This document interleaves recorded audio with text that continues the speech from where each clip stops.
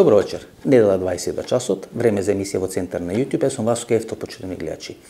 Вечерва, ексклузивно интервју или вистината ќе побараме во ексклузивно интервју со Зијат Бечировиќ од Дифимес. Повеќе од една година го договараме тој интервју, или јас нема време да одам во Лјубљана, или тој не беше во Лјубљана. Специјално отидовме во Лјубљана за да снимиме интервју со Зијат Бечировиќ на тема Операција Конски скок, операцијата Конски скок, која всушност требаше да заврши со доаѓање на Никола Груевски на власт во Република Македонија, нон-пейперот на Јанша, повеќе 165 медиуми и портали кои се вмрежени во целата операција Конски скок, што се случувало, кој ја финансирал, кој е мозокот на целата таа операција, повеќе од 65-70 минути интервју со Зијет Бечеровиќ, останете со нас, нема да зажалите. Зијет Бечеровиќ, добро вечер. Дојдовте во емисијата во Центар. Добро вече вама и gledalcima вашим. Драго ми и хвала на позив.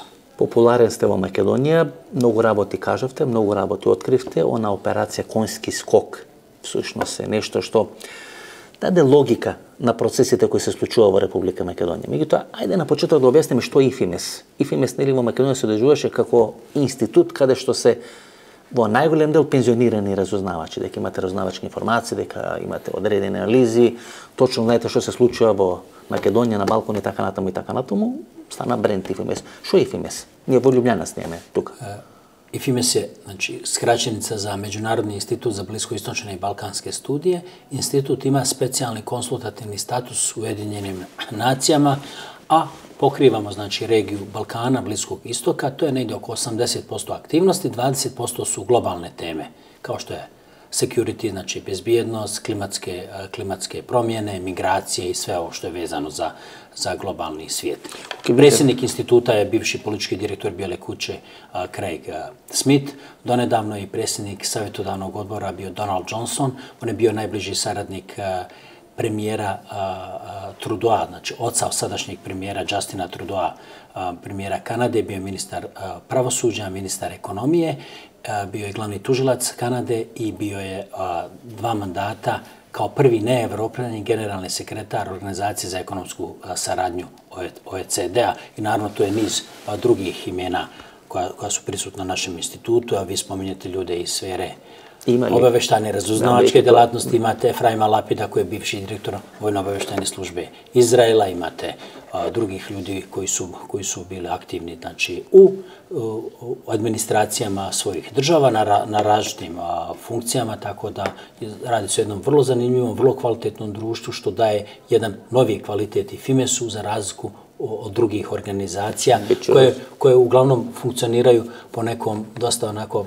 a, rigidnom a, sistemu. Mi smo gledamo da smo vrlo fleksibilna organizacija i da se odazivamo znači na sve ključne probleme sa kojima se suočavaju države, regioni i svijet i zbog toga smo jedna od rijetkih organizacija koja ima i specijalni konsultativni status u jednim nacijama, što znači da u svakom trenutku generalni sekretar UN-a može zatražiti savjetodavno mišljenje i od Međunarodnog instituta za bliskoistočne istočne i balkanske studije IFIMES. I uvijek smo, uvijek smo tu na raspolaganju. Mi biše bitno da oprašam, една и пол минута, две минути, не да објасните што всушност е. ФИМЕС, бидејќи многу информации има, многу анализи се прават, многу информации кои се клучни за Македонија и гледачите да сватат дека сите тие работи не ги измислува Зет Бечировиќ или дека не седнале Васко Ефтов и Зет Бечировиќ па разговарат околу одредени работи, дека за тоа стои крупен состав на луѓе, еден сериозен телефонски именик, поранишни политичари, функционери, шефови на разузнавачки структури, тоа што ќе го разговараме всушност има поминато сито и решето. Че за тоа стојат луѓе кои се со кредибилитет и кои ги гледат процесите изменатите 50 или 60 години. Излеговте со аферата Којнски скок во Република Македонија. И тоа беше шокантна афера. Дел од работите кои тамо ги напишавте и кажавте подоцна и се реализира. Конски скок беше афера за промена на власта, тоа е пред локалните избори минатата година, подоцна во неколку продолжителци тоа го, го, го правевте. Možemo li da objasnime koja je suštinata na operacijata konjski skok? A, konjski skok nije afera. Nažalost, nije afera, nego je to stvarnost sa kojima se Makedonija suočava i još uvijek će se suočavati, samo što konjski skok ide u jednom modificiranom obliku zbog toga što se mijenjaju okolnosti u kojima se provodi ta obaveštajna operacija i Makedonija je pronašla jedan dio odgovora i suprostavila se konjskom skoku koji je prije svega bio usmjeren protiv tadašnjeg premijera Zorana Zajeva i ministra za unutrašnje poslove Olivera Spasovskog. Zoran Zajev se povukao iz politike, tako da nije više znači, u fokusu znači, obaveštane obaveštajne operacije Konski skok i sva aktivnost je sada uglavnom usmjerena na ministra za unutrašnje poslove Olivera Spasovskog, a cilj operacije koja se koordinira iz Budimpešte je da se stvori ambijent da dođe do rušenja aktuelne vlade, da na vlast dođe a, znači, sadašnja opozicija, odnosno VMRO, i da dođe do povratka Nikole Grujevskog u Makedoniju. Vrlo jednostavno, sličnu operaciju koja se koordinira iz Budimpešte vodi se u Bosni i Hercegovini, ona je kodnog imena Kula, ci, protiv federalnog premijera Fadla Novalića da se sruši ekonomski sistem države. Sjetimo se bivše Jugoslavije, kad su počela frera, aru, komerci slično, da biste srušili jednu državu, morate srušiti njen ekonomski sistem. Federacija Bosne i Hercegovine, koja je 51% teritorije države Bosne i Hercegovine, u njoj se odvijaju tri četvrtine ekonomskih tokova. Значи, само една четвртина, чак и мање у Републици Српској и да би се срушил држава, ви морате срушити значи, економски систем те така. државе и онда у различитим облицима се то ради и наравно то не е само конски скок, операција кола, ту се нон-пейпери, ќе ги анализираме сите. Видите, знаете што малку ми е чудно. Будимпешта беше центар. И тоа секој во Белград ја кажа што се разбира во тие работи. Будимпешта беше центар на рушење на Слободан Милошевич. Американците користеа Будимпешта, граничи со Србија, голем дел од луѓето кои беа од устомно речено шарената револуција или оној отпор што се организираше во Србија, Зоран Джинџич и екипата на Зоран од оден обуки во Будимпешта, во Сегеден и така натаму и така натаму. Во вреки пари се носеа во Србија за рушење Милошич. Каде ја менува позицијата Будимпешта, бидејќи сега Будимпешта висјава како центар за рушење, устомно речено, на проамериканската или проевропската влада на, на Зоран Заев, како велите, таргетот е Зоран Заев и Оливер Спасовски. И ако е таргетот Зоран Заев, Зоран Заев се повлекуваше, Значи дека делумно таа операција Конски скок е успешна во Република Македонија, бидејќи елиминиран една од целите, ако биле две цели, министрот за внатрешни i premijer od nadržavata, Zoran Zajev, već je ustavno rečeno politička penzija. A, dobro ste to primijetili. Vođene su znači, operacije iz Budimpešte protiv Slobodana Miloševića, ali ovdje je ključna razlika. Tada u Budimpešti nije bio Viktor Orban. On nije bio premijer, nije vršio vlast. Znači, do te promjene da Budimpešta počinje centar znači, koji vodi, proti kojih se vode, iz kojih se vode akcije prema Sjevernoj Makedoniji, prema Bosni i Hercegovini, naravno nekim a, drugim a, državama, je došlo posle znači, dolaska Viktora Orbana na vlast, znači ta promjena je njegova veza sa, sa Rusima i u stvari s mnogim retrogradnim snagama, jer u stvari ako uzmemo Mađarsku, Mađarska je relativno siromašna zemlja ili u nikom slučaju nije razvijena zemlja, ogromni novac ide preko Budnipešte, to nije mađarski novac, to je ruski novac, to je vrlo, vrlo jasno, za finansiranje, znači pa između ostalog i medija, za finansiranje jednih takvih aktivnosti, to su operacije koje koštuju mnogo, u njih je mnogo uleženo, znači tu postoji jaka obaveštajna mreža, nije dovoljno samo znači ta klasika da su to samo a, službe, potrebno je ogromno izdataka koji nisu samo iz budžeta, znači vrlo sumnjivog porijekla, da bi se ostvarili određeni ciljevi. Rekli ste da je se Zoran Zajev povukao, jeste se povukao, ali mislim da je to njegov državnički potez on je u stvari trasirao put Republike Sjeverne Makedonije za budućnost. Znači, Makedonija je riješila svoje sporove i sa Bugarskom, sa sporozumom u dobro susjedstvu, prespanski sporazum, postala je članica NATO i što je možda jedno od najvažnijih emotivnih stvari, duhovnih stvari za makedonski narod, Makedonska pravoslavna crkva, Orhidska arhijepiskopija postala je autokefalna. I to su to su ključne stvari koje je uradio Zoran Zajev, a nova generacija, znači sada državu koju vode, to je pre svega premijer Dimitar Kovačevski, ima odlične predispozicije da se Makedonija razvija kao jedna normalna država i ona se razvija, ali još uvijek je to nedovoljno. U stvari, kada je trebalo da počne pravi ekonomski razvoj, desila se korona i zbog toga su mnoge aktivnosti do sada obustavljene i naravno ovdje ste spomenuli ministra unutrašnjih poslova Olivera Spasovskog, on trpi sav taj teret i nije čudo da mu se stalno podmeću afere, stalno su napadi na njega. Cilj je da se on eliminira iz političkog života i da bi stvari desio se jedan brisan prostor da ta operacija apsolutno uspije у Републици Северна Македонија. Добро. Ке разглобиме целата таа ситуација, бидејќи клучна за, за Македонија, но прво само не прашам, зошто е Македонија толку важна? Зошто е Македонија толку важна, бидејќи и во Босна има, и во Словенија има, меѓутоа главниот акцент на целата таа операција е во Република Македонија. Ако стојат руси, нели, уште Лавров пред 4 или 5 години ја дефинираше Македонија како прва линија прва линија на фронтот или прва огнена линија и така натаму и така. Тоа говореше во руската дума дека Македонија ќе биде поделена помеѓу Бугарија и помеѓу Албанија. Тогаш Абер немаше дека бугарите планира да стават вето за почеток на преговорите на Македонија со Европската унија.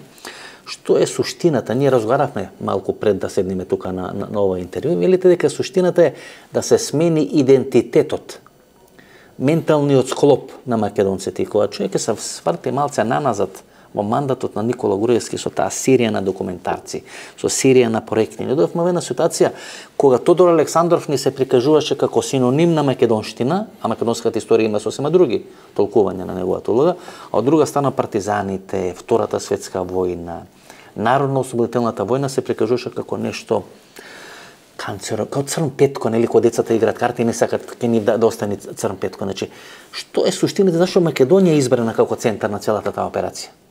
Makedonija kao država nalazi se na jednoj raskrsnici, znači i geopolitičkoj, geografskoj, raznih mafijaških puteva, kriminala, tako da Makedonija je vrlo važna. Ta raskrsnica, ukoliko se sa njom dobro upravlja, ona može dobro da funkcioniše. Ukoliko se sa njom može da dođe do gužve na sa, samoj toj raskrsnici. I eho događanja u Makedoniji ima odjeka u sam region, kao i došavanje u Bosni i Hercegovini i plus radi se o multietničkoj zemlji, znači koja ima vrlo, vrlo zanimljivu strukturu i koja je u nedavnoj prošlosti bila znači, država međuetničkog konflikta, čak je bilo i rata koji je zaključen Ohridskim sporazumom i sve do dolaska, znači Zorana Zajeva, to je bilo 31. maja 2017. godine, a na vlast Makedonija je na dnevnoj osnovi bilježila međuetničke incidente. Od dolaska, znači nove vlade, 2017. godine, 31. maja Македонија више не бележи меѓуетнички инциденти. Зашто? Па зато што нова власт не продуцирала конфликте, него е стварала и тај концепт едно општество за сите, едно друштво за све, влада за граѓаните и, и, и, и, и други концепт кој е... И... Се, се, се извинам. Никола Груевски бега во Будимпешта. Бега во мандат на Зоран Заев и на Оливер Спасовски. И ако Никола Груевски треба да се врати со аферата или со операцијата Конски скок на чело на македонската држава, тога зошто Заев и Оливер Спасовски дозволува да избега, бејќи таква операција не може да биде спроведена без премиер и без министр за внатрешни работи или премиерот и министерот за внатрешни работи немаат контрола на државниот апарат, на разузнавачкиот апарат, на функционирање на, на државата. Човекот кој бега, нели, условно речено, во, во Будимпешта, сега со операција треба да биде вратен назад. Кој го пушта него? Не можат русите да го пуштат да избега во Будимпешта, може да го пуштат американците, французите, германците, македонската влада како компензација за тие 8 пратеници што ги обезбеди да се направат промените на, на уставот и да се смени името после референдумот и преспанскиот договор. Тоа само на први поглед изгледа тако да е одговорност премиера и а, министра. Она изгледа формална, меѓутим, ми знамо да е Македонија заробljena држава. Она шовек не е у потпуности ослободена. Иако имамо веќе više od pet godina, znači novu vladu od 2017. godine, još uvijek stare strukture drže kičmu države. I to se vidjelo i kod slučajeva Saše Mijalkova i Orče Kamčeva i drugim slučajevima, pogotovo kada se radi i o samim a, suđenjima i procesuiranju i raznim blokadama i obstrukcijama i naravno napadima izvana koji dolaze i to je paradoks da jednostavno Makedoniji prijetni dolaze od država koje su članice NATO. To je Mađarska, to je Bugarska, znači ključne, znači delumno i Slovenija. Ključno, pa je naravno i Slovenija, ali ne sada.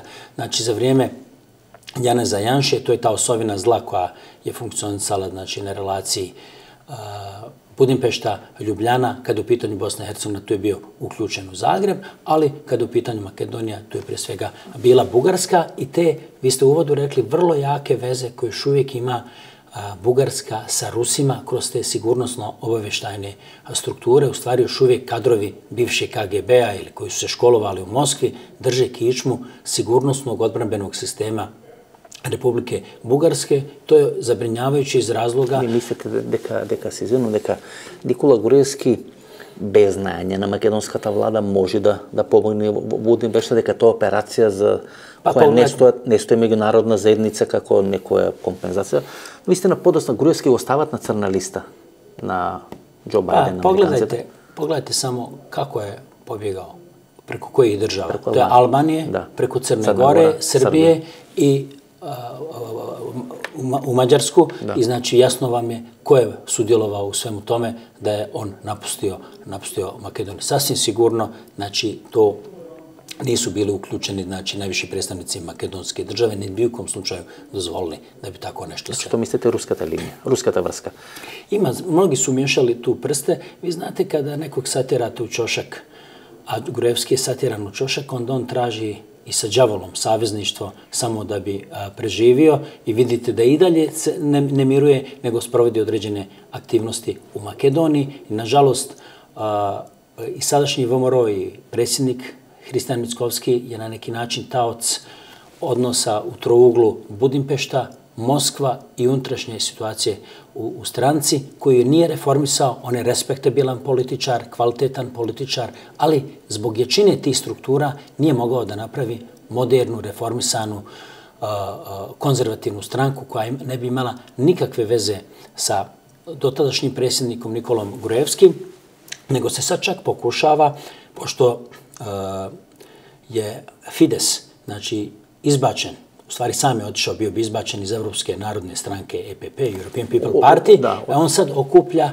znači, te radikalne a, desničare da bi napravio novu političku grupaciju za prestojeće izbore za Evropski a, parlament, iako a, Makedonija nije članica znači, Evropske unije, ali su stranke, znači pridruženi članovi Evropske narodne stranke, on bi htio da bi i a, VMRO postao dio te radikalne evropske a, desnice i tu je otpor predsjednika a, Mickovskog a, veliki iz razloga što znači, odlazak u radikalnu desnicu uz postojeće sve blokade koje radi a, VMRO, u stvari bi izolirao VMRO u međunarodnom prostoru, pogotovo u evropskom prostoru i to bi u stvari bila faktički a, mrtva a, stranka i te opasnosti je svjestan sadašnji predsjednik Hristijan Mickovski. Jaz smo ne učili, че всушност за силината на таа групација свативме со аферата за рушење или операцијата за рушење на специјално тајно винителство.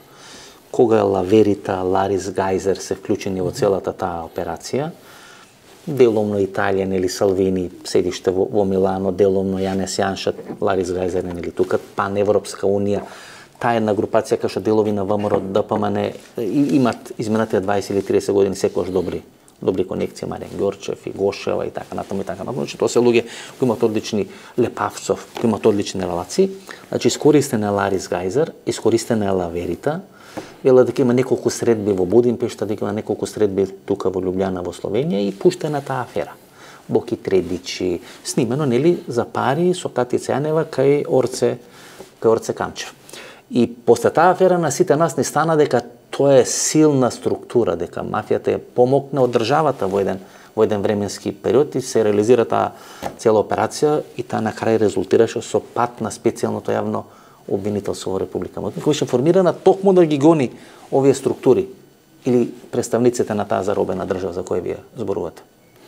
Специјално јавно тужилаштво е у почетку одиграло врло позитивна улога у Македонија и управо због те позитивни улоге je, su i pokrenute te aktivnosti da se a, specijalno javno tužilaštvo u stvari a, diskreditira i vidite, sami ste vi o, naveli jedan dio tih struktura, one su puno šire, da dođe do te diskreditacije, mnogo sredstava je uloženo i mnogo rašti zamki je napravljeno, nažalost u neke zamke su se i pojedine tužiteljice odnosno tužiteljica glavna upecali, tako da jednostavno to je, to je bio u stvari krah jednog modela koji bi se preslikao i u druge države. Mi smo vrlo jasno rekli, događaj u Makedoniji doveće do promjena i u Crnoj Gori i na Kosovu. I desilo se. Pao je režim Mila Đukanovića, u Crno, u, na Kosovu je pao režim oslobodlačke vojske Kosova, znači Albin Kurti je po, po, po komplet porazio tu strukturu, ratnu strukturu i te promjene dešavaju se u Bosni i Hercegovini s tim da je Evropa dozvolila neviđenu izbornu krađu,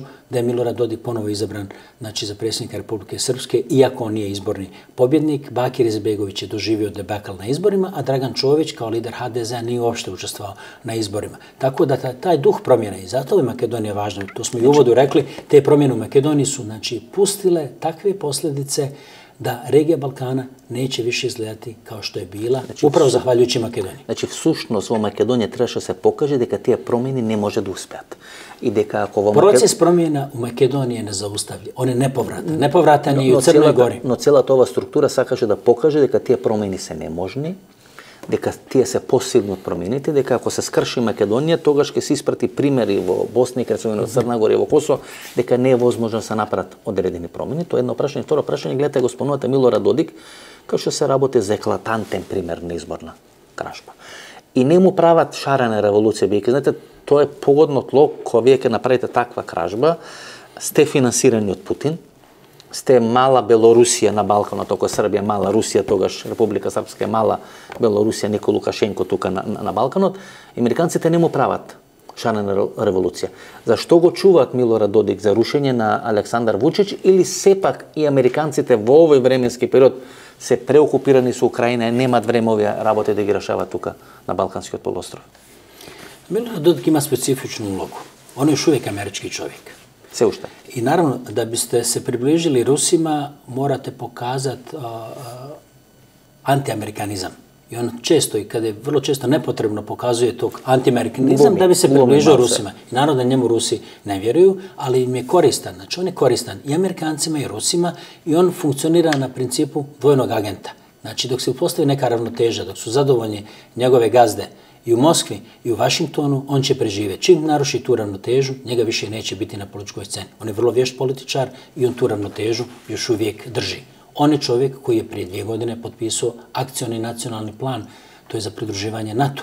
I rekao je u sljedećem mandatu, Bosna i Hercegovina će postati članica NATO. On je to rekao, naravno nije rekao ovaj za, za mikrofonom. Tako da on ispunjava sve želje i zadatke koji su mu naložen i s jedne i s druge strane i u stvari uspostavio direktnu komunikaciju sa Moskvom, tako da mu Srbija u tom slučaju nije potrebna, čak da on, dobro ste to primijetili, on predstavlja i za Srbiju remetilački faktor, jer mnoge njegove aktivnosti vrlo često idu na račun Aleksandru Vučiću, jer mnogi smatraju u međunarodnoj zajednici da Srbija, odnosno Vučić, stoje za njim. Nije to tačno. To može biti samo djelomično tačno u nekim aspektima, ali generalno on vodi jednu svoju samostalnu politiku u koordinaciji sa ova dva centra, Moskovom i Vašingtonom. A zašto? Znači on odgovara i Moskvi i Vašingtonom zbog trećeg strane, to je Evropska unija, jer Evropsku uniju stalno treba opominjati da je nesposobna, da je neorganizovana i da je Balkan veliko žarište i ona mora izvajati i velika sredstva, znači resurse i kadrovske i materijalne, da bi osigurala taj neki kratkotrajni mir i krhu stabilnost u samom. Balkanu. To je velika igra između da. velike sila. Ko širokata slika, ne li сега ја кажуваме и објаснуваме, всушност и војната во Босна и Херцеговина почнува кога американците признават Босна.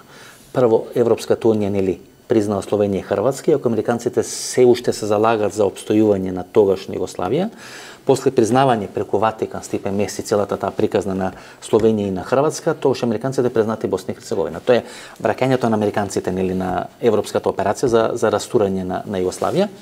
Има многу логика во целата ова работа, затоа и Босна и Херцеговина битна во целиот овој наш целата ова наша концепција, целиот овој наш разговор. И она врска на Милора Додик со Реджеп Тајп Ердоган – кој до пред една или две години се гледа преку нишанот, условно речено на пушката, од една стануваат клучни играчи, клучни пријатели. Дори многу почесто Милора Додик се среќава со Реджеп Тај Пердоган, отколку што се среќава Бакир, Бакир Зарадбегович. Што ќе рече, целата таа конструкција, ќе се вратиме на конски шок, не го даваме широката слика што се случува тука на Балканскиот полуостров, целата таа конструкција во моментот користи за да може Косово да се држи kako, kako odredeno otvoreno prašanje bidiki.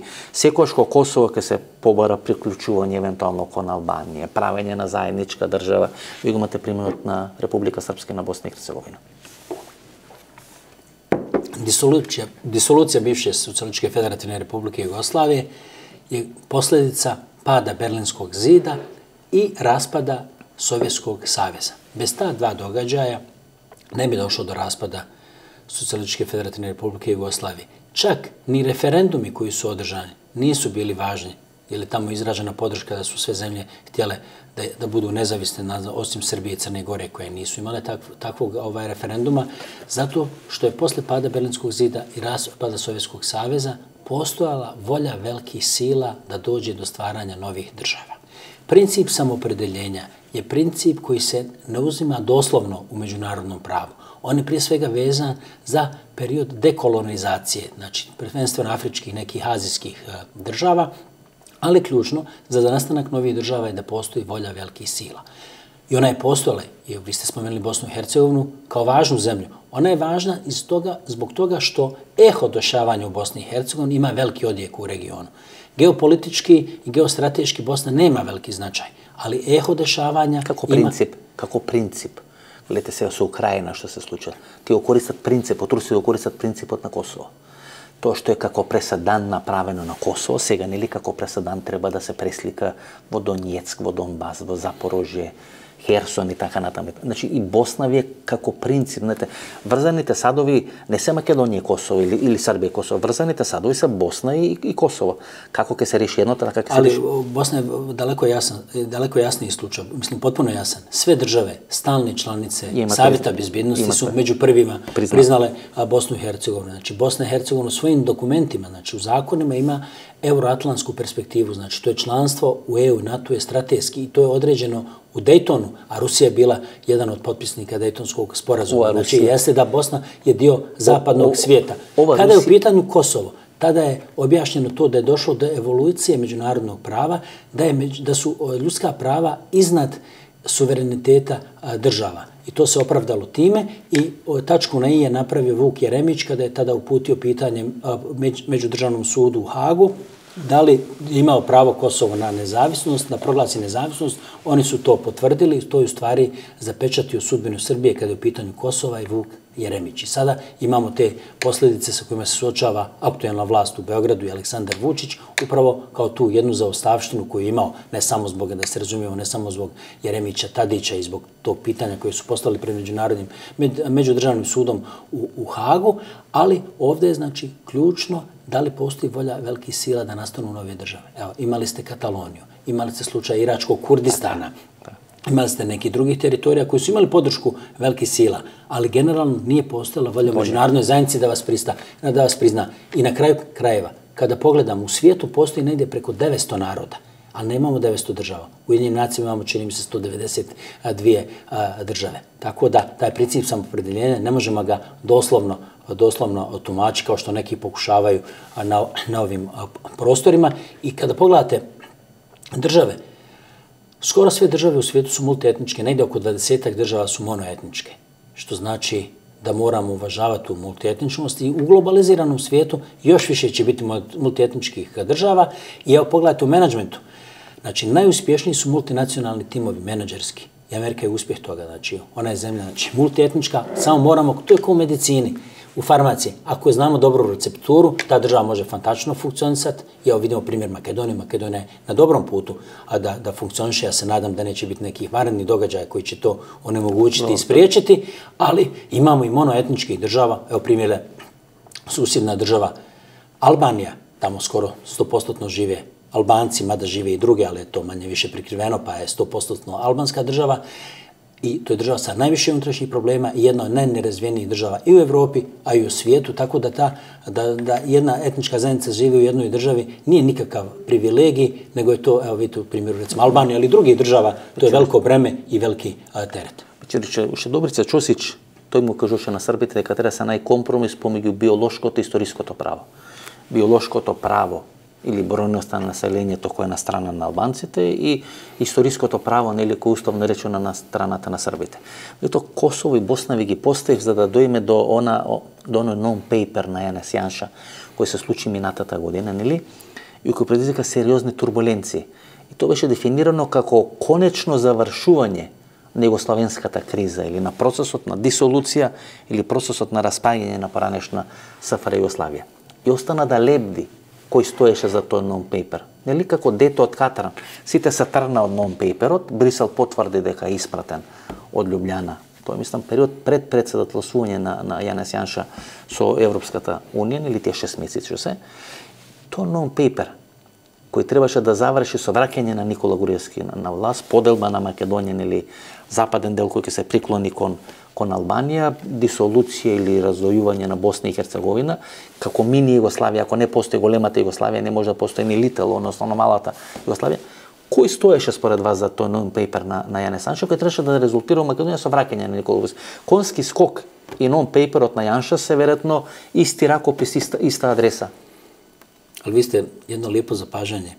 Vi ste re, govorili o prirodnoj, ne znam, Albaniji. Da, Albanci koriste to prirodno natu, Albanija. Naturale. Jeste, Albanija naturale. Jeste, to kao nije velika Albanija, ali obuhvata, Da. ali kad smo govorili recimo i o prirodnoj Bosni i Hercegovini, Bosna i Hercegovina je bila do Zadra, Herceg Novi je bio bosansko-hercegovački grad, Sanđak je bio bosansko-hercegovački. Kada govorimo o Sloveniji, znači tu područje oko Trsta, Furlane, Julijska krajina, Austrijska, Koruška, to je sve bio slovenski etnički prostor i na kraju krajeva ako govorimo o prirodnoj Mađarskoj, znači posle Trianonskog sporazuma, znači Mađarska je ostala bez dvije trećine svog stanovništva, odnosno dvije trećine teritorija koji su pripale a, drugim državama. I ako bi išli u tu priču o prirodnim a, granicama, onda bi do, ponovo došli do konflikta, jer u stvari prirodne granice su изговор за неке други проекти. главно се ради о велко државним проекти. Мислите Ми мораме уважавати... Проблемот, проблемот на Орбан, мислите дека се тие две па, третини. Па, наравно, Тоа наравно. тезата значи- дека маѓарите се единствена или едно од редките држави во светот која граничи самата со себе, бидејќи во сите околни држави живеат маѓари или унгарци. Па, и, тоа е неговата иста ситуација тоа е неговата, и, тоа е неговата. негова, али тако речеме и, и албанци објашнавају да живе су исто и бугарите. Има има бугари во источна Србија, нели Има бугари во Македонија, бараат во Албанија и така натаму, делови на Турција, Тракија, Добруджа горе во во што се вика во Романија. Значи тоа е тоа, е- тоа е суштината на, на, на конфликтот кој нас не се случува. Non paperот кој кој го дава господин Вечорич? Duh uh, ponovo dolazi iz Budimpešte. Toliko Ali se Budimpešta je jedna vrsta transmisije i ruskih interesa, mračnih sila Evrope, koji smatraju da treba promijeniti mentalni sklop, znači nacija. Evo ovdje smo imali primjer do nedavno, dok je bila vlada Janeza Janše, cilj je da promijeni se mentalni sklop slovenaca, koji su izrazito antifašistička nacija da se promijene u suprotno. Pa imate evo primjer u Makedoniji, šta, je, šta su bili ti projekti iz Skoplje 2014 i sve te aktivnosti koje su rađe, rađene od strane VMRO-a da se promijeni znači mentalni koncept Makedonaca. A zna se, Makedonci su antifašisti, zna se uloga Asnoma, znači tri ključna događaja su bili, znači Ilindenski ustanak, Asnom, a proglašenje nezavisnosti Makedonije i kasnije, znači, ulazak Makedonije u NATO, ja mogu slobodno reći peti događaj koji je važan, znači, i simbolički, i duhovno, i emotivno za makedonski narod, to je autokefalnost Makedonske pravoslavne crkve, Orhijske arhijepiskopije. E sada treba promijeniti da su Makedonci nešto drugo, da nisu ono što jesu. Ja često govorim, kada neki, nažalost, osporavaju postanje makedonaca, makedonskog eh, jezika, pogledajte Bibliju i tamo ćete na tri mjesta naći naćete da se spomenju makedonci, nisam našao nigdje u tim svetim spisima da se spomenju bugari. I u stvari, Bugarska je nastala po sporazumu znači, Osmanskog imperija u raspadanju i carske Rusije kao nezavisna država koja bi bila protuteža knjaževini, kasnije kraljevini, kraljevini a, Srbiji i ta njena uloga je potpuno drugačija iz razloga što tada, kada je nastala nezavisna Bugarska, stanovništvo je bilo, znači, bogumilskog, turskog, turskog, uh, turskog uh, uh, porijekla, uh, makedonskog i onda je izvršena strašna asimilacija, znači bugarizacija stanovnika tadašnje, a, tadašnje Bugarske i ona ima istorijski, znači tu, tu ima taj koncept bugarizacije, asimilacije drugih i sjetimo se 80. godina što je urađeno sa Turcima i recimo i- da su, da su. Makedonci Bugari, Па 100 година трае покушај бугаризација, значи македонаца и Македонија, па ел успело? Не, не, затоа што нису то. Три кодификации имат бугарите, нели нас ни префрлат, нас ни префрлат дека Блажо Конески ќе направи кодификација на македонски јазик. Три кодификации имат бугарите. На крај се одлучуваат за оној источен диалект кој најмногу личи на русите. Јесте, они тоа, значи, тоа е значи, суштината, значи, тоа е западно бугарски, значи дијалектот, значи zanemarili i standardizirali su kao svoj znači, kodificiran jezik a, istočno, istočnu varijantu, znači istočni dijalekt bugarskog jezika i kasnije su azbuku prilagodili прилагодили а, руској азбуци и из разлога видимо ситуацију да бугарски и македонски се преводе, значи не разумију се два јазика, док имате рецимо тој, српски, тој, хрватски, црногорски, босански, кој се разбира. Не, немају превода. Така е, бидејќи така македонците и бугарите всушност конфликтот е и ке црквите, бидејќи македонците не го разбират они западно-бугарски диалекти говорно, говорно подрече. Але мислим да после u zadnjih pet godina, znači sve što je urađeno, iako su neke stvari bile bolne, ja to razumijem poziciju i makedonaca, ali moramo priznati da su i ostali građani koji nisu bili makedonske etničke pripadnoci, albanci, turci, romi, srbi, bošnjaci u Makedoniji, znači solidarisali se sa svojim sugrađanima makedoncima, kad god je bilo u pitanju identiteta, jer taj identitet jednostavno koji, ljudi koji žive s vama znaju da on, da je on izvoran, da je on makedonski, on se ne može osporiti i da je apsolutno suludo, suludo bilo šta osporavati, ali postoje znači, krugovi u Evropi, prije svega znači, Kršćansko-demokratska unija Angele Merkel, koja je u stvari napravila GERB kao političku stranku uz pomoć fondacija koje su vezane za CDU i CSU, znači to je bavarska a, varijanta kršćanskih demokrata. Znači, oni su napravili tu stranku i bili kum, znači politički zaštitnik Bojka Borisova, a znamo kakva je to stranka, znači oni su opljačkali i bugarsku i evropske fondove, u stvari njihovo novčanik je bio u Briselu, a srce u Moskvi. I oni su dozvolili da dođe do te blokade Sjeverne Makedonije, posljedično i Albanije, da ne započnu pregovore. To je bilo prije korona krize i tome je dobro došla znači, i znači, uloga Francuske, tako da su svi bili zadovoljni u stvari na, nek, na neki način Bojko Borisov i Ger bili su korisni idioti da ostvari znači, interese znači, Evrope, jer ne postoji volja za proširenjem unutar same Evropske unije, tako da jednostavno, ne, da, ne, ne samo da ne postoji volja, Postoje da se pitanje da li će uopšte biti proširenja. Pa ako ne postoji volja, ne zna se ni kad će biti proširenja. I ta neizvjesnost u stvari ubija građane i Sjeverne Makedonije i drugih država. Jednostavno se otvaraju mogućnosti da neke druge države šire svoj uticaj, čak da možda neke zemlje i promijene svoju geopolitičku orijentaciju, što ne bi bilo dobro za zemlje, ovaj dio je, to je dio Evrope, ali ne bi bilo dobro ni za samu a, Evropsku uniju, ali se igraju velike geopolitičke igre. Ja pratim vi to u svojim emisijama, znači pokušavate da otvorite oči znači, vašim gledocima da vide šta se dešava. Ja uvijek gledam i kao profesor, znači da studente ne da im naučim, nego da im pomognem da oni dođu sami do vlastitih spoznaja o čemu, o čemu se radi. Pa i ovo što večeras govorim za, za vaše gledovace je u funkciji toga da rasvijetlimo ta sva dešavanja oko Makedonije, a jednim dijelom i unutar Makedonije, su one posljedica vanjskih dešavanja. Mi svi moramo znati, bez obzira što su ove zemlje imale referendum o nezavisnosti, one su nastale kao posljedica velikih sila. I uvijek je važnije šta se kaže vani. Pitajte nekog u Skoplju šta se kaže vani, u Briselu, u Vašingtonu, ne znam, Berlinu, tako isto i u Srbiji, i u Bosni, i u Sloveniji, i u Hrvatskoj, jer su nastale kao posljedica volje velikih sila, a referendum su bila neka forma koja je bila, a, morala se zadovoljiti zato što je to tražila Badinterova a, komisija. Многу формулации сум слушнал за Бојко Борисов до сега, ова е веројатно најинтересната формулација дека корисен идиот, дека одработил за Ангела Меркел, целата таа екстремна десница во Германија. Дури мислам дека дел од парите не се руски пари кои влегуваат во унгарски медиуми, кои го имат преплавено Балканскиот полуостров, туку дел се германски екстремни, не екстремната десница пари, а таа е финансирана секош од, од Руската Федерација. Што е интересно, начело на таа групација, некаде да пред 4 или пред 5 години, беше бугарка, која беше главна уредничка на некој небитен медиум кој исто финансиран од унгарски пари, нешто за недвижности, нешто за мала индустрија, мало стопанство и така натаму и така натаму. Значи дека Бојко Борисов е дел на тој процес или еден клучен сегмент талка на, на целиот тој процес кој се случува во Република во Република Македонија. Дека бугарското вето е најмалку историско вето, а најмногу е вето за рекомпонирање на целиот region i prostor, za, za rusko vlijanje u od prostor. Vi ste spomenuli izjavu Lavrova koji je rekao o Ruskoj dumi u vezi Makedonije.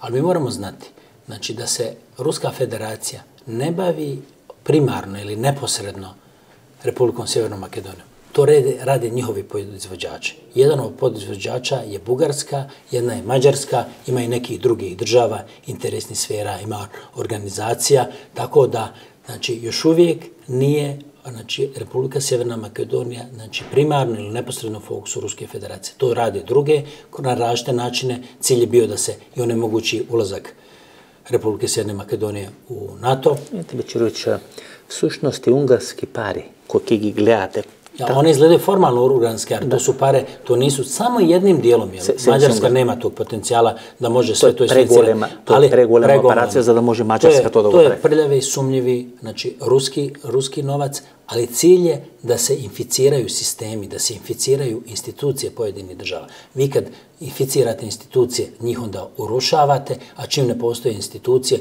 i to je najbolji primjer Makedonije, još uvijek ne može da se oporavi, da se stvore institucije. Jer kad se stvore institucije, one štite svakoga. I vas, i mene, i... i, i... Gledajte, tije pari, tije pari, gledajte, e, ili rmeta, И гледате Кечеву шоголу доле, значи таа една групација Александар Николовски е на афера што се извади за гласање за Азербеџан, патување во Азербеџан, втори човек нели на, на главно да помене.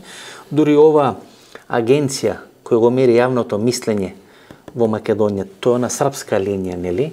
Или агенцијата на Александар Вучич преку Илир Мета е дојдена Ilir Meta je во мора да во Република Македонија. Значи, таа групација си функционира без разлика што или мета, нели може би е пријател. Небитно, тој е дел на таа групација. Чавушоглу во Турција е дел на таа групација.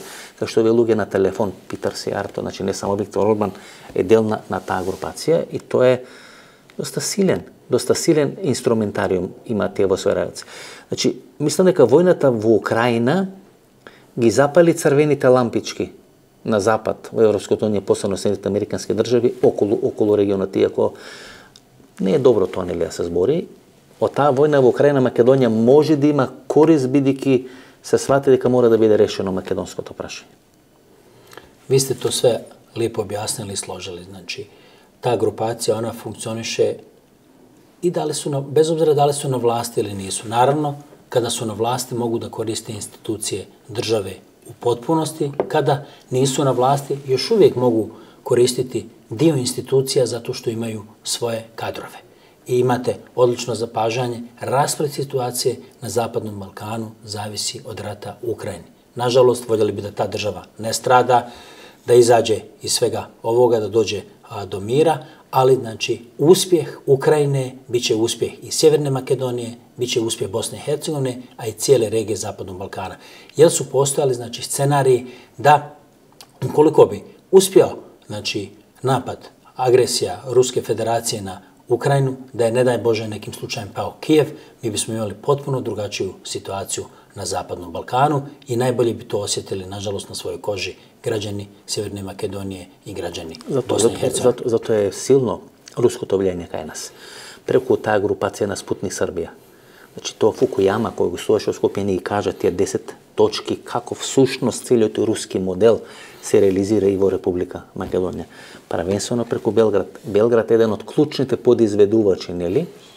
Ете, Александар Вучич, преку она групација на Милорад Вучелич, новости и така натаму, некаде пред две години имаше сериозни напади на Милорад Додик, дека преку Република Српска ќе се руши Александар Вучич, нели тоа беше една операција кога овие велја, неволја, Велико Беливок и така натаму и така натаму, некои рестлови на клановите беа уапсени, тој е почетокот на 2021 година. Тогаш главниот напад беше но оној владика што е во Херцеговина, веќе не му се сеќа. Григорија. На владата Григорија и беше на Милора Додик. И целата ова машинерија медумска под контрола на Александар Вучич со дрва и камења ја напаѓаше таа групација. Очекува дека главните удари ќе дојдат преку Република Српска. Владика Григорија сад, значи владика Дизелдорфски и целе Немач, Немачке, така да ние више ова на, на тој позиција. Извади афера со наглумица Катерина Радивоевич. Беше пуштен Воислав Шешел, нели да збори по српските медиуми и така натаму и така натаму, се создаваше подлошка да се влези во процес на политичка екзекуција на Милорад Додик. Тоа е тоа тоа е тоа беше лајк мотивот. Наравно Милорад Додик има овие резервна улога, значи нега држе као значи као да најдем не знам кој би можда најбољи израз нашао како неку резервну пријетњу, значи властима у Београду и Александру Вучиќу као што sličnu ulogu ima i sam Milo Đukanović u Crnoj Gori. Znači, oni su uvijek ti koji da bdiju nad Beogradom. Tu kada bidat. Jeste. I oni su nastali iz iste političke kuhnje. I Milo Đukanović i Milo Radodik. Znači, oni su nastali iz američke kuhnje, ali oni odlično sarađuju i sa Rusima, ima o Miloradu Dodiku smo govorili, ali i o Milu Đukanoviću, znači njegov novac je vezan, znači te trećinu, trećinu strane investicije su bile ruske kompanije, jednu petinu su bile uh, iz Srbije, znači njegov novac, njegove veze sa Rusijama su i dalje jake. One se čisto iz pragmatičkih, političkih razloga odlučio da ide u NATO samo da bi politički, da bi, da bi politički uh, preživio. Tako da on još uvijek drži odlične relacije, pogotovo jedna ekipa ljudi oko njega Тако и без... Са Русима и Руском Федерацијом. Така. Милорад Додик значи, ради со свима, Мило Ѓукановиќ ради, ради со свима и докле они успоставили ту неку врсту равнотеже биќе на власт, с тим да Мило Ѓукановиќ више се сигурно неќе кандидирати за председника, нити е могуќ повратак Демократске партија социјалиста на власт у Црна Гора. всушност маршрутата која кажавте на Гуриевски, Македонија, Албанија, Црна Гора, mm -hmm. Србија, ние всушност кажавме и како функционира таа оска на влијание преку подизведувачи тука на, на Балканскиот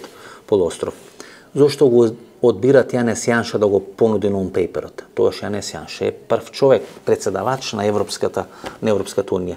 Кој го стимулира Јанес Јанша, бидејќи, знаете, остана да, да, да, да лебди, дали е тоа Франција, дали е тоа Германија, дали е тоа може би некои делови на структура, така и завршат тој ноен пейпер дека не би прифатил Џо Бајден. Многу повеќе тоа личи нели на Доналд Трамп и целата таа групација. Koji god bi Enes Janša da bi da glavni odglumec, da, možemo da se vratimo i da finiširamo sa Republika Makedonija. Ali mi moramo znati kako je Janez Janša došao na vlast. Znači, on je došao na vlast uh, uz pomoć podršku Viktora Orbana. Znači, prvo je napravio medijsku podršku, onda kapitalski je došao na podršku. I znate, ko je upoznao o, Janeza Janšu sa Viktorom Orbanom? Upoznao je Nikola Grujevski. Тоа е си, наравно, и давам јасно какви су те везе и навезаност значи, тог троугла Виктор Орбан, Јазјанша и Никола Груевски. Мислим, да. Можеме ли Ердоган да го дефинираме? Веќе вие во една од вашата анализа некаде на фонот на конскиот скок велите дека му истекува азилот на, на Никола Груевски. Тоа беше... Не се тражио, да. тражио од Руса да. и од Турске да би добио, меѓутоа било сувише, било би провидно da mu da Ruska federacija, znači onda bi se razotkrilo i potvrdilo bi, znači javno bi potvrdili sve ovo što govorimo o ruskom utjecaju u, u Makedoniji i u regionu, a Turska isto iz svojih drugih nekih razloga, ipak imate i tursku manjinu koja živi, to je negdje oko 100.000 građana u Sjevernoj Makedoniji. Turska ima neke druge utjecaje u regionu. Iz čisto pragmatičkih razloga je to on odbio, a dobro znamo da je on nekada posjećivao Tursku kao ni jedan premijer, da je čak po 15 dana su trajale posjete, po dvije sedmice su trajale posjete tadašnjeg makedonskog premijera Nikola Grojevskog i obilazio je sve pokrajine ovaj, Turske, tako da te, te veze su jake i to se vidjelo kroz odnosom Erdogana do novih vladi, novih vlasti, nove vlade, tako da Dakle, Kako znam, Erdogan nije dolazio u posjetu Makedoniji, jednom je bila posjeta premijera Zajeva Така така како се састоа со Ердоганом. Тогаш се разговара, Стамбул, да, разговара нешто околу Байрактарите, нели беше понудена. Не, Байрактар мислам дека тада било испоручивању одредени кои су из кои су испоручени, испоручени на, на Турција. Турска. И тоа која е балканската турнеја, тоа е во Босна и Херцеговина, тоа е во Србија, тоа е во, во Хрватска, но не е во Република Македонија. Тоа е нели балканска пред два месеци. А тоа вам тоа потврđuje, тоа потврđuje, тоа потврđuje те везе, значи уште увек су јаке везе Турска Турске са бившим режимом, Дори, односно са... Георги Иванов, знаете, ако се кејате, кој ги пише оние писма кога е Тиранската платформа, собраке до да овие постојни земји членки на Советот за безбедност или на стратешки партнери на Република Македонија, тука е случај Германија, но е вклучува и Република Турција, која ја дефинираше како еден од клучните сојузници на, на Република Македонија. Кога вие вадите оваа афера со конски скок, Мислим да тоа касније потврдило да е и Георги Иванов да е професор, мислим да не иде у Турско и да тако. Синот негов, поранешниот шеф на агенцијата за разузнавање во наводи се добија политички азил во Република Турција. Значи, тоа е еден сериозен конгломерат на интереси кои се испреплетуваат. Главни играчи кои напаѓаат вашата афера за операција Конски скок се всушност разузнавачкото подземје на ВМРО ДПМН, да кои биле порано шефови на разузнавачки структури или советници на, на Георги Иванов и главните напади беа таму. Тие вадат и аферата со пасошите за шкалјарскиот клан или со овие криминалци кои се случуваат во време на минатата година Оливер Спасовски така натаму и така натаму, тој е хрватски софтвер кој е применат во Република Македонија, кај што еден голем дел од пасошите ги дава нивниот технички министер што е начело на владата, техничка влада која треба да ги, да ги спроведе изборите и ги искористува тие работи posle rušenja na Zoran Zajev, da ga ruša to Oliver Spasovski. Pa evo, posjetit ću samo, sjetite se kada je tadašnjem tehničkom ministru za unutrašnje poslove Oliveru Spasovskom, kada su oduzate ovlasti kao ministra kada je bila tu još tehnička vlada, kada nije došla vlada Zorana Zajeva. Znači, te strukture su vrlo moćne, tako da ministar ne može kontrolirati svaki, svaki segment, evo recimo, kao bi, što je bilo izdavanje pasuša. Još uvijek sam rekao, još uvijek kažem, Makedonija još dobrim dijelom zarobljena država. Imamo vladu više od pet godina, ali Makedonija se nije mogla osloboditi. To su tako moćne strukture koje imaju na, finansiranje znači, vrlo sumnjivih izvora. Znači imaju neograničena sredstva na raspolaganju, pogotovo zbog te operacije konskih skok koja se koordinira iz Budimpešte. Znači, oni, oni neće odustati od, od Makedonije. Vidite, se ne može I zbog toga je važno da se održi znači, sigurnosni, obavještajni sektor. Svega gledajte ko je ova, ko, ko, ko, usto da rečemo konflikt okolo izborot na Viktor Dimovski na čelo na Agencijata za nacionalna bezbednost. I to glavno го водат луѓе од ВМРО да помане по медиумите, така на се подгрева целата таа приказна, се да се покажува некоја неспособност поради клановските структури внатре од СДСМ да се избери нов директор на Агенцијата за национална безбедност, додека го Стемен Турча се уште нели не е избран наследник на Виктор Димовски, кој од пред два месеци веќе има добиено граман да замени за Франција. македонски амбасадор во, во Франција. Но битна им Агенцијата за национална безбедност, бидејќи таа дава белешката со кој е приведен и во притвор Орца Камчев ставен, еден од клучните играчи на рушење на специјалното тајно обвинителство на сите овие операции кои се случат во Република Македонија? Па, Ао, најнови податак, значи, Македонија е на 36-то место по безбедности, значи 36-то место по безбедности, значи да е врло безбедна држава. I to je rezultat znači rada sigurnosno obavještajnih agencija, znači policije i prije svega ministarstva unutrašnjih poslova i ministra spasuhovstva. On u međunarodnim krugovima kada razgovarate s ljudima koji su iz sigurnosno obavještajnog sektora slovi kao najbolji ministar u regionu unutrašnjih poslova. Makedonci I... nema se soglasa s ova, znajte, Takve kampanje crna se vodi za Oliver Spasovski permanentno во медиумите, на социјалните мрежи и така натаму и така натаму, еден огромен дел на македонците не би се согласили. И још веќе ќе бити напади. Значи, напади, он е у фокусу. Значи, овде одговорно тврдим, Оливер Спасовски е у фокусу обавештајне операције конски скок. Значи, још више ќе бити, још ќе бише измишљања, а, значи, различитих афера, подметања, тако да едноставно, значи, што се njega тиче, apsolutno, znači, to će se intenzivirati horoskop, napad. Horoskop, Jeste, ne, ne je pogodan horoskop, znači pa, napad na dvo, jeste, narodni Pa, prvo su htjeli preko Olivera Spasovskog da sruše Zoran, Zoran Zajeva. Da. Zoran Zajev se povukao, tako da je ostao znači, na vjetrometini Oliver Spasovski, koji u stvari drži ključ stabilnosti Makedonije su aktivnosti koje sprovodi Oliver Spasovski. Javnost vjerojatno o tome vrlo malo zna. On je razmontirao agenturne mreže znači nekih država, da ne spomenje, zato što akcija još uvijek ovaj, traje, znači oni su razmontirani, oni su morali napustiti Makedoniju, o tome nema u javnosti i naravno da te službe, te države na raznim osnovama, znači ne samo direktno, najmanje direktno, u stvari vraćaju o, udarac Olveru Sposovskog. 165 medijumi portali. Bilite se vključeni v operacijata Konski Медиуми и портали кои се користат за фейк ньюс или лажни вести со кои се бомбардира Република Македонија. Се создава една обществена хистерија. 165 портали вие да организирате, да финансирате, да, да, да ги натерате да пласират една иста вест, да се прави одреден кластер на овие што се велат агрегати, кај што се читат најмногу вестите, тоа е сериозна операција. На крајот на од Велес беше софтверот руски користен и инсталиран за да може да се, да се да се мешате или да имате интервенција во презателски избори. Хилари Клинтон не постои интервју кај што не го споменува целиот тој тој процес. Американците го гледаат тоа некако страна, значи не помага да се демонтира целата таа мрежа, таа мрежа влада е во моментот Помпео мислам дека имаше една изјава кога дојде во, во Охрид и рече немојте да дозволите да бидете корумпирани со кинески кредити и да дозволите ботовите руските ботови да ја водат политиката да во Република Македонија. Тоа се случува. Кинеските градите до душа не се многу влезени, но руските ботови не водат политиката во Македонија. Како, како Македонија да се избори со таа операција конски скок?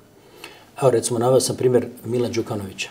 Таму имате тречину руских инвестиција, имате макроекономска стабилност, зависи од руског, од кинеског кредита за автопут бар Болјар. Една милиарда. Значи држава членца НАТО. Значи најиспоставлjenija руском и кинеском утицај. Како е дошло до тога? To je jedan isto dio tih aktivnosti koji je vezan za takve krugove. Kako Makedonija da se suprostavi konjskom skoku? Postoji jedan vrlo jednostavan način. Samo da se razvijaju i ojačaju institucije države. Kada postoje jake institucije države, vi vidite recimo Italiju, ona je stalno u nekim aferama, mijenjaju se vlasti, ali to je peta najrazvijenija država svijeta. Zato što institucije funkcionišu.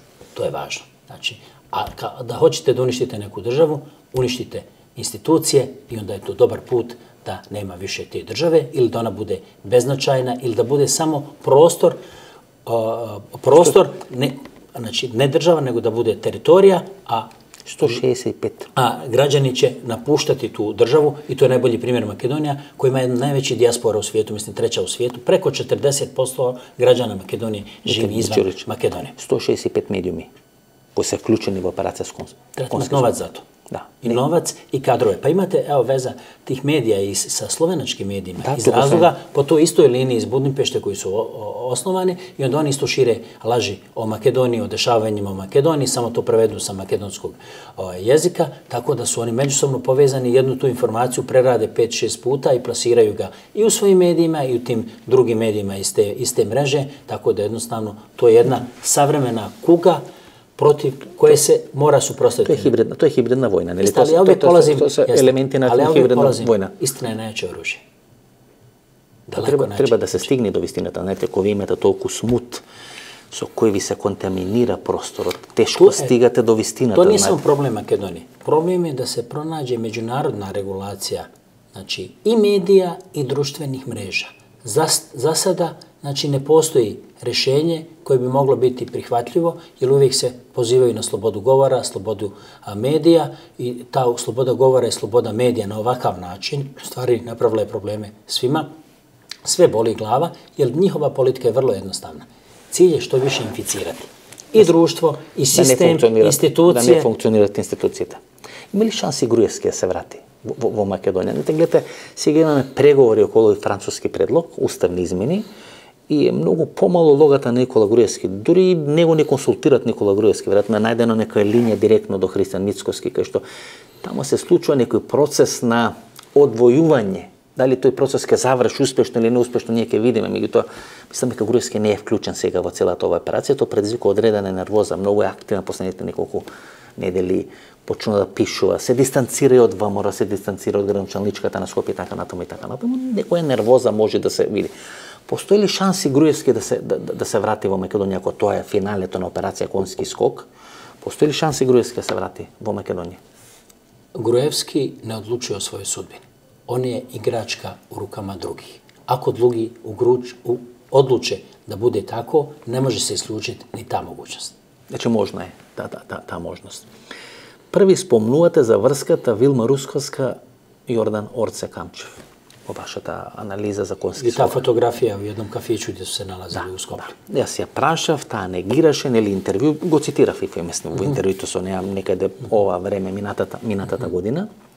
И то неколку месеци после тоа договорот кој е направен со Јордан Камчев и договорот кој е направен со Сашо Мјалков покажува дека безбедносните или разузнавачките информации со кои располагате биле релевантни и таа врска помеѓу Вилма Русковска и дел на оваа структура. И уклучен син Orče i Kamčeva koji je prijetio znači, institucijama i tim tužiocima i tu s pozitivnu ulogu, kako sjećam, odrezali Lenče Ristoska Sosko.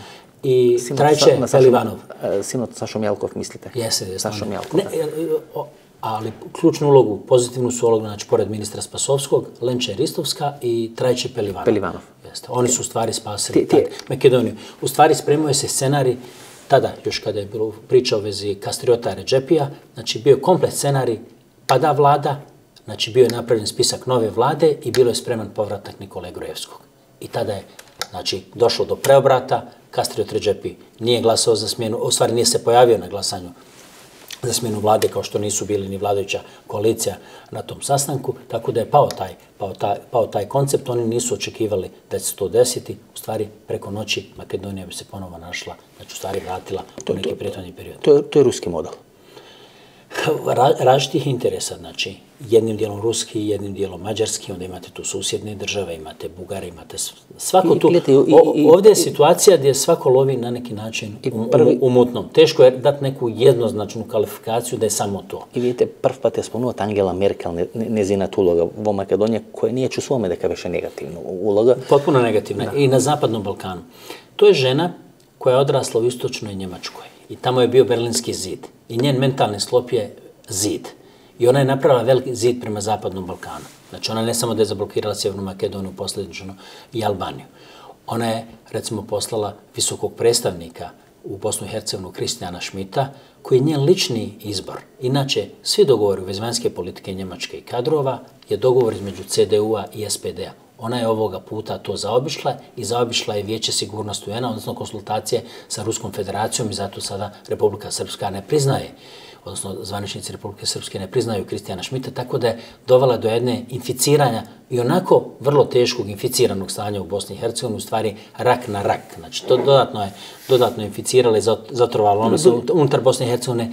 Vidimo što je radila u vezi u vezi Hrvatske sa, HD, sa, HD, sa HDZ-om, tako da jednostavno znači, vrlo je, vrlo je simptomatična znači, uloga Njemačke, a bojim se da sadašnji kancelar koji je bio njen zamjenik, znači vicekancelar, nije odustao od te politike koje je vodila sama Angela Merkel, jer upravo berlinski proces je da se uspostavi znači, utjecaj i kontrola nad Zapadnim Balkanom od strane Njemačke, a otvoreni Balkan je autohtona ideja, jer ne treba nama ni Njemačka, ni Francuska, mi moramo međusobno da uskladimo te odnose i upravo auto, otvoreni Balkan je autohtona ideja. Mi znamo šta nas боли сваког од нас, морамо превазичи многе ствари да прескочимо, али да осигурамо будуќност. И затоа отворни Балкан далеко квалитетнија идеја од берлинскog процес, ер берлински процес и само име говори циља да Немачка значи успостави значи надзор и оствари своји интереси у самом региону. Госпомнате Кастро Треджепи, кој е клучен играч 14 ноември минатата година требаше да биде формирана таа влада, Касо Зерджипи во интервју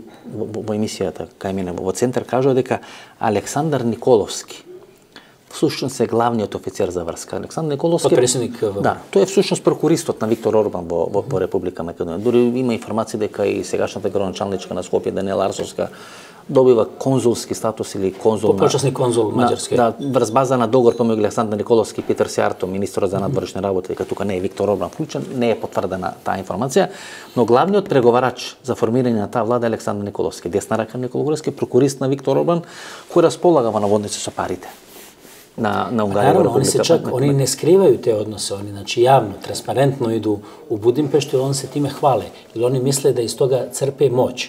Ali došlo je do значи велики промени во Македонија. Тоа е еден неповратен процес, значи еден меѓуетнички склад. Значи луѓето више не е важно кои се етнички заедници, пред тоа било на дневна основи а, конфликт. Луѓе хоче а, болji живот. И наклоненост македонаца и македонски граѓана имаче они кои може обезбиети бољи живот. Мислите дека дуј ке остане бидејќи пред две години главните главната битка на изборите не беше помеѓу ВМРО ДПМН и СДСМ, беше помеѓу Зоран Заев и Али Ахмети.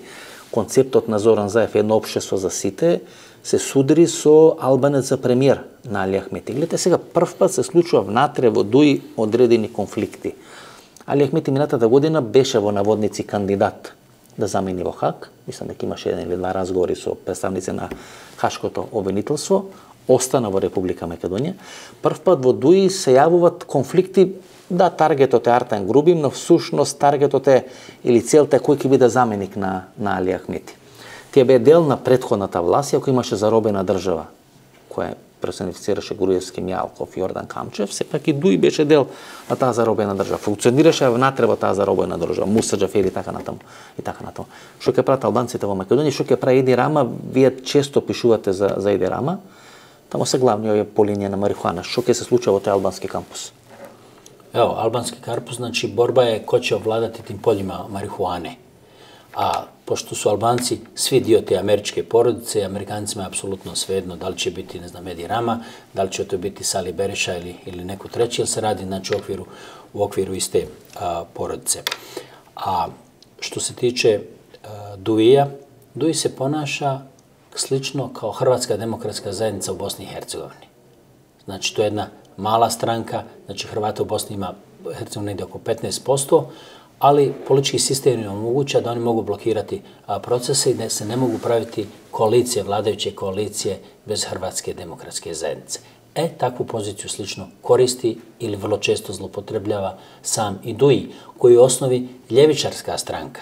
Tako da ona ne može biti daleko od samog, od sa, po svom konceptu je ljevičarska stranka ili bliža ljevici. Pa ti su marksisti, lijeva, lijeva, lijeva, se jeste. tekteši, znači ne se tamo ne tamo to islam toliko vlezan da rečem. Nema, zato kod Bektešija to je znači različica varijanta znači šizma, tu je pragmatičnost, znači tu je vrlo važna ovaj pragmatičnost i važna je ideologija. Dok recimo kod sunitskih muslimana je važna a, pripadnost. Tako da to su te razlike. Razlik znači jeste i plus recimo Albanci u Makedoniji nemaju tu tradicionalnu plemensku strukturu ne po kanonu Lekedu Kadžinija, niti po Skenderbegu, nego znači imali su jedan drugačiji znači, istorijski put Ке може ли дуи, ке може ли дуи СДСМ да направат предизборна коалиција, бидејќи ко ние ово го снимаме, тамо се разговара за лидерски средби, во Македонија се разговара за лидерски средби, подршка за францускиот предлог, уставни измени така натаму и така натаму. Имаше една предреферендумска коалиција, тоа беше 2018 година, кај што беше и ДУИ, кај што беше и СДСМ, кај што беше Алијанса на албанците алтернатива, БЕСА и така натаму и така натаму.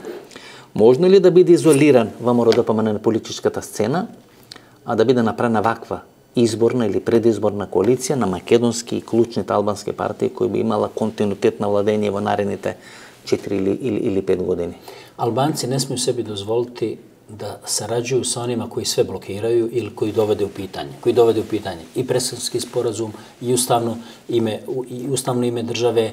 Evo sad najnoviji dogovor koji je postignut sa Republikom Bugarsko, znači oni sve moguće osporavaju. To je VMRO. Albancima je cilj Evropska unija, evo bio je cilj NATO, a čime je Makedonija postala članica NATO, znači time su prestale sve priče o bilo kakvim secesionističkim projektima, oni znaju da je to njihova država i u ovom trenutku ni jedan od albanskih političara, ovi koji predstavljaju značajnu političku snagu među Albancima u Sjevernoj Makedoniji, ne bi se osudio da ide bilo kakvo koaliranje sa ovakvim VMRO-om i ovakvim političkim, političkim konceptom. Tako da, ali moramo znati znači, da je to vrlo živahna politička scena, veliki su utjecaji, veliki su interesi i materijalni i nematerijalni, tako da ne možemo ništa isključiti kada je u pitanju Sjeverna Makedonija, ali mislim da SDSM i DUI imaju vrlo korektnu saradnju i što je još važnije, imaju rezultate na koji mogu biti ponosni jedni i drugi i što je u interesu građana Makedonije. Naravno, građani su uvijek nezadovoljni, ja sam ovdje nezadovoljan kao, kao građanin od svoje vlade, jer mislim da uvijek može biti bolje, ali zato važno znači da postoji civilno društvo, da postoji nadzor na, bilo, na svakom vlašću, da bi ona bila što bolja, e, efikasnija, ali zaista Makedonija znači, ima sada sve pretpostavke, znači Zoran Zajev i ova ekipa koja je bila s njim, znači nije samo Zoran Zajev, evo da spomenemo i Olivera Spasovskog i ove prvoborce iz, iz SDSM, znači oni su trasirali put za budućnost i sasvim sigurno bit će znači, zapisan kao jedan od najvećih makedonaca u modernoj историја историја историја Македонија и македонског народа. Ако е Виктор Орбан главен подизведувач, а тој беше човек на Сорос, до пред 10 години Виктор Орбан и Сорос. Јесте бил стипендиста Сороса стипен... и негов ученик. И негов ученик. Значи Виктор Орбан ќе се обиде да прави систем кој мини може... Сороша на мини Сорос, Јест. кој ќе треба да, да му парира на Сорос, тие сака и дел на центарот на тој систем да биде во Милано, подосно го формира во, во, во Лондон. С тим да Сорос е прави отворено друштво, Ово затворено. а затворено. Е, тоа, тоа е разлика. Но, но ученикот се обидува нели да го копира својот учител и Виктор Орбан, ја спроведува таа политика и во Република Македонија. Конски скок не е завршена операција. Затоа што нема простора за отворено друштво, онда мора и супротно. Нешто слично е урадио и негов значи, колега Јанез Јанша Janez Janša je izraziti ljevičar. Čovjek koji je pješke išao u Trtov drvarec iz, Ljubljane, odnosno iz Grosuplja, učestvo o omladinskim akcijama, bio u predsjedništvu socijalističke omladine i on je imao prostora na ljevici, jer je velika konkurencija na ljevici, i on je sam otišao u desničar i zamislite kada morate 30 godina koji ste ekstremni ljevičar da, да глумите да сте десничар. Наравно да, да видите да постоје разни фрустрации кроз, кроз таквих луѓи, не само Јанше, кроз свих, и Виктор Орбан е еден, еден од такви. Видите, едно од последните прашања. Ако велите дека операцијата конски скок не смееше да успее во Македонија, бидејќи тоа значеше вракење на Македонија, тркалото на историјата и така натаму и така. Кој ке резултираше со невлез на Македонија во НАТО и почеток на преговори со Европската унија, може ли целата западна цивилизација Европа да биде поразена во Украина? од Русија, од Владимир Путин. Многу, многу американски аналитичари, па дури американски политичари, кои биле на клучни позиции 90-те години, дека една од клучните грешки на Америка, две клучни грешки има на, на Америка, една од клучните грешки е дека процесот на растурење на комунизмот на железната завеса на источниот лагер не завршува и со процес на дисолуција на Русија, не само на Советскиот сојуз. И втората клучна грешка е дека Ангела Меркел под притисок на Ангела Меркел, да се сетиме 2008 година Ангела Меркел не дозволува Грузија и Украина да станат земји членки на Европската унија, па односно на НАТО сојузот, па 2012-2014 година се случува Крим, се случува нели Мејдан, Крим и така натаму приклучување на Крим кон Руската федерација 2008 година Македонија не легува во НАТО и дека една од клучните грешки на Ангела Меркел дека ако се овозможи на Путин да продава нафта и природен газ во Западна Европа, ќе го демократизира руското општество. Дали процесот на дисолуција на Руската Федерација беше клучна грешка бидејќи не инсистира на американците, смета дека треба да остане Русија со Борис Јелцин. Значи све релевантни процени кажу да Руска Федерација и Народна Република Кина не могу остати у овакви границама кои имају. Тоа е врло јасно. Значи, Руска Федерација е една врло хетерогена, значи држава, значи и етнички и расно и vjerski, и velika е по teritoriji, Ona na neki način skuplja narodnim jezikom, bi rekli, i babe i žabe. Znači, to je jedan veliki konglomerat. I ona, ako se igra znači, sa društvima na Balkanu poigrava kao što je makedonsko društvo, bosansko-hercegovačno i slično, ona u stvari radi sama protiv sebe. Ali ovdje je jedna ključna stvar koju ne samo da je napravila Angela Merkel. Angela Merkel je to napravila zato što je ona strateški znači, vezala se za Rusku federaciju, iako je bila upozoravana, eto i posljednji put javno je to upozorio i Donald Trump kada je bio da, predsjednik. Da, to je objavljeno jeste. pred mjeseci. Ali ovdje je ključna stvar unutar Evropske unije. U Evropskoj uniji najveća politička grupacija je Evropska narodna stranka, European People Party.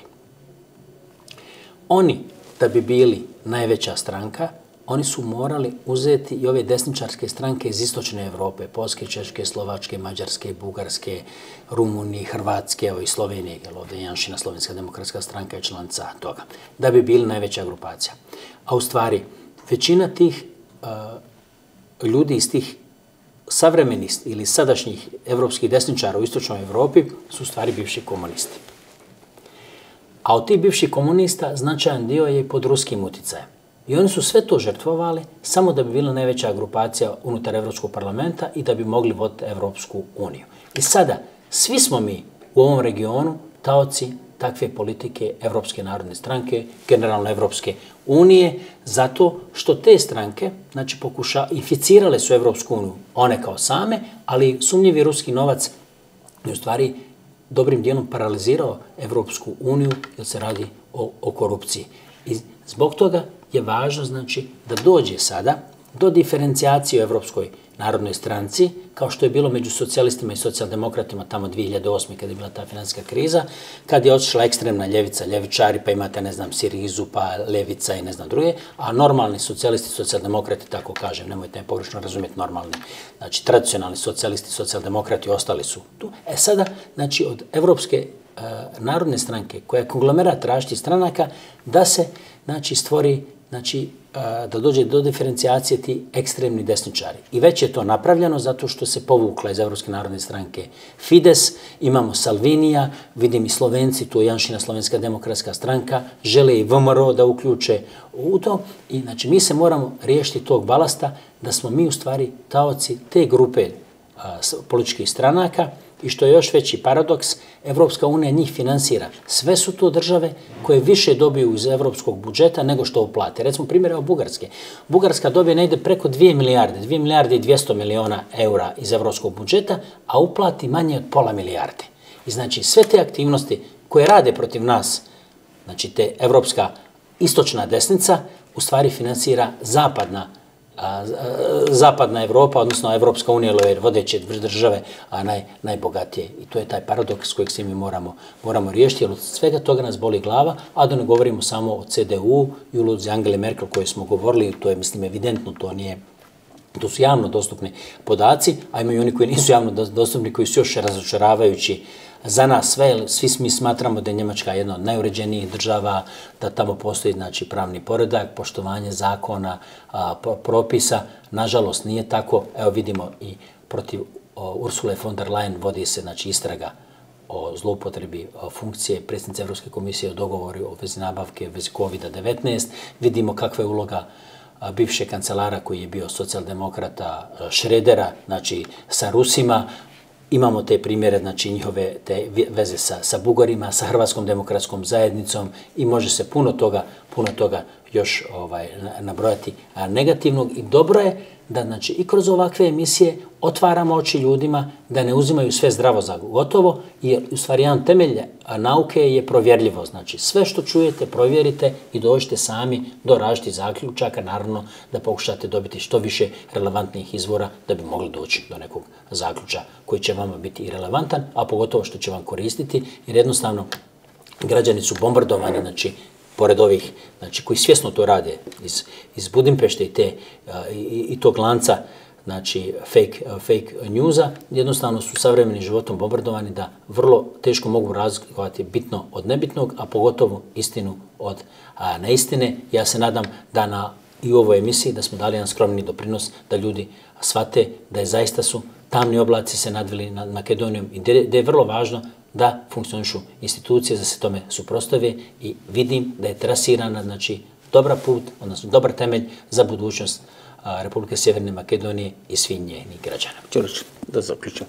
Операција Конски флок постоеше, беше сериозна операција, беа вклучени многу пари, 160 портали, разнавачки структури, подземја, надземја и така натаму, криминал, кој се што е... Значи, тоа е мрежа цела по Македонија, тоа е мрежа агената, тоа, тоа, тоа, значи капиларно е присутна.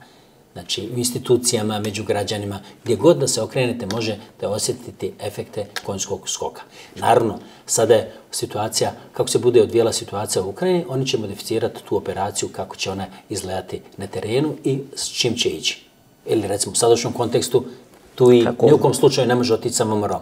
Ali ako se promijeni kontekst, ali on, nažalost, znači, mi na, u ovoj regiji možemo, da tako kažem, možda je neadekvatna riječ ili možda je ružna, možemo profitirati od mog rata u Ukrajini i pobjeda Ukrajine bit će pobjeda svih nas. Dobro. I vjerujem da će biti ta pobjeda. Posljedno prašenje.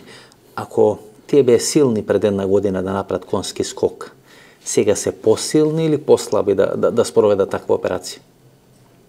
To je moćna mašinerija, to se vidjelo. Znači, svjedoci ste stalno u Makedoniji, znači, produciranja, afera, Kjera. napada. I nemoguće u takvoj okolnosti vod državu, bez obzira, je li vas cilje da se vi bavite skreće vam se pažnja od ključnih stvari da se bavite tim nebitnim stvarima koje oni produciraju, Mozokot. ali su one jako ozbiljne i mogu Mo nastati velike posljedice. Mozokot je Moskva. Mozokot, mozak je Moskva. Jednim dijelom, nije samo Moskva.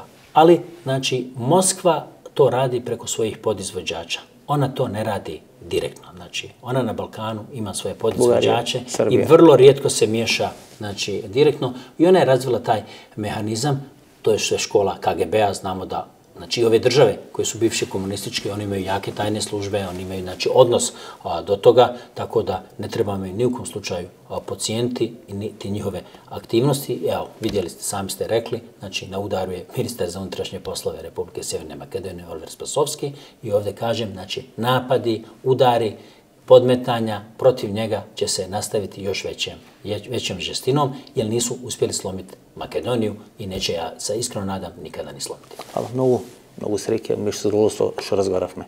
Хвала и вама. Мислам дека многу работи се јасни, многу работи ви беа презентирани на маса, многу работи прв пат ги слушате. Гледате која е таа длабочина, широчина, стратификација на целата таа операција колку испреплетени интереси има во целата таа акција операција Конски скок, која всушност требаше да заврши со доаѓање на власт или враќање на власт. Никола Груевски, Сашо Мјалков, Јордан Орца Камчев, гледате, тоа се случува и сега, Агенција за национална безбедност. Ова интервју е снимено пред сите овие случувања во Агенцијата за национална безбедност, оној пасош на Украинецот и така натаму и така натаму, кои ни покажуваат две работи дека прво системот ни е се уште порозен и неотпорен да може да се справува со такви операции како што пасошна или Агенцијата за национална безбедност пасошот на украинецот или како што е укинувањето на специјалното јавно обвинителство. И од друга страна, колку големи стратешки игри се водат околу Република Македонија, кај што се испремешани срби, Маџари, руси, бугари, така натаму и така натаму, каде што режимот кој беше во изумирање покажува една драматична жилавост Не само да се бори, туку да задава удари и да се обидува преку одредени политички партии да се врати повторно на власт во Република Македонија. Мислам дека многу работи сега појасни. Ако ви се допадна оваа емисија, ново дружење четвртог во 22 часот, до четвртог во 22 часот, пријатно вечер Македонија, каде и да си.